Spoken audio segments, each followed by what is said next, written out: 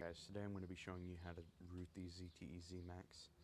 Here is proof that this is the ZMAX. If I go and you can see Z970. So, first thing you're going to want to do is go and download KingRoot from the first link in the description.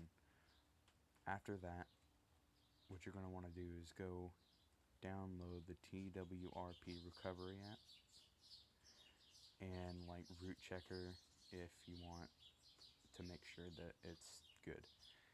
Now, uh, since you're going to have to hit the KingRoot multiple times, I suggest going into settings, apps, downloaded, and finding KingRoot. and then whenever it fails to root your phone. Just hit clear data and it'll just let you start right over again. So now that you've got all these things ready to go you're going to want to hit KingRoot it's going to open KingRoot now it's not going to show it for me because I have denied KingRoot access to any of my phone because it's already rooted and I don't want to mess anything up. So, there's going to be a big blue button down here that has Chinese letters and root. You're going to want to click that.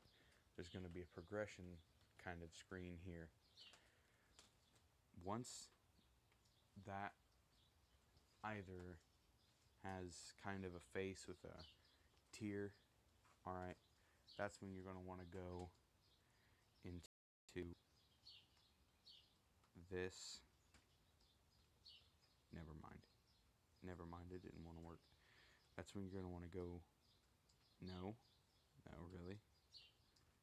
Not going to work for me now, huh? No.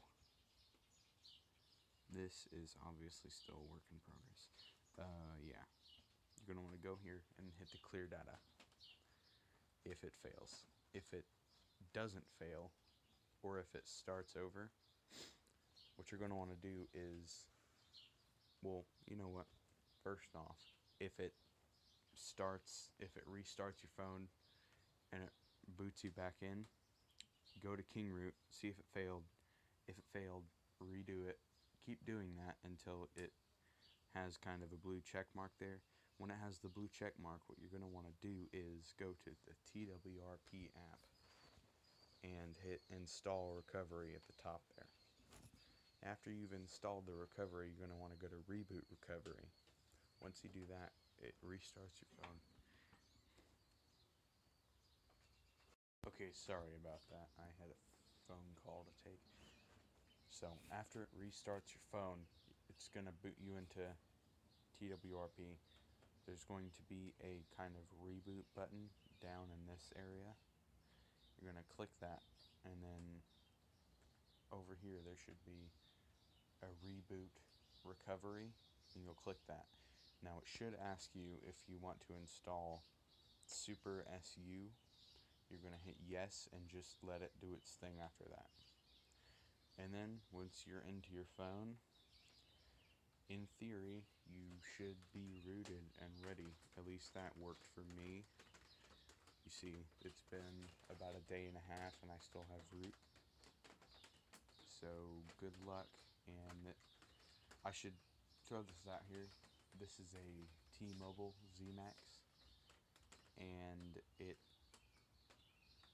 was well I should have uh, I should have said this earlier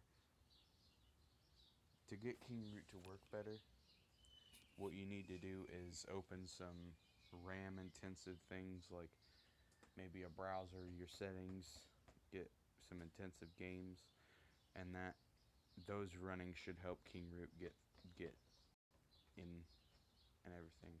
So good luck and tell me how you did. If you need help, tell me in the comments or on Google Plus.